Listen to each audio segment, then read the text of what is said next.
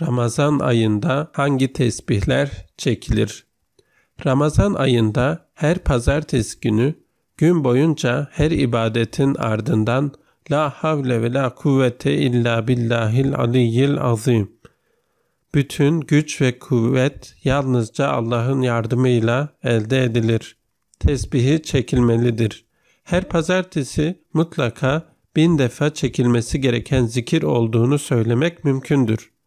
Her salı günü yüz defa olacak şekilde Cezallahu anna Muhammeden sallallahu teala aleyhi ve sellem ma huve ehlül Allah bize Hazreti Muhammed'e layık olma mükafatı versin, salavatı çekilmelidir. Her çarşamba günü Estağfirullahel azim ve etubu ileyh. Allah'a istiğfar eder, beni affetmesini dilerim. Tevbe istiğfar tesbihi çekilmelidir. Bu tesbih çarşamba günleri yüz defa çekilir. Her perşembe günü Subhanallahi ve bihamdihi Subhanallahil azim.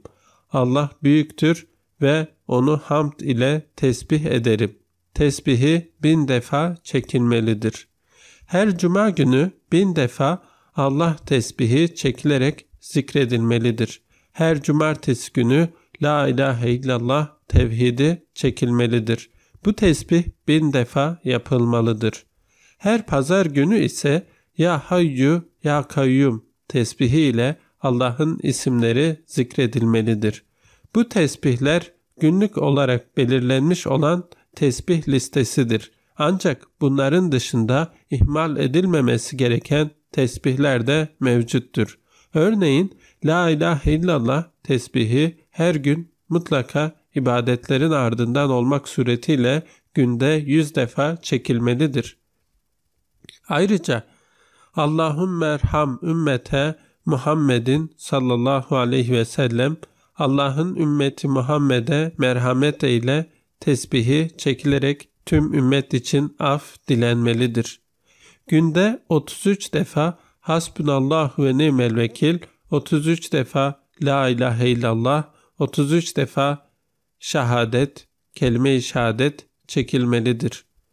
Günde 11 kere Allahümme inneke afuvun tuhibbul afve fa'fu anni. Günde 11 kere Allahümme inneke afuvun tuhibbul afve fa'fu anna. Allah'ım affedicisin, affı seversin, bizleri de affeyle tesbihi çekilir. Günde 11 kere Rabbi fir verham ve ente hayru rahimin tesbihi çekilmelidir. 11 defa Allahümme esrah sudurana, Allahümme esrah sudurana ilel imani vel İslam. 11 defa Allahümme inni ala zikrike ve şükrike ve husne ibadetik çekilerek gece ibadeti tamamlanır.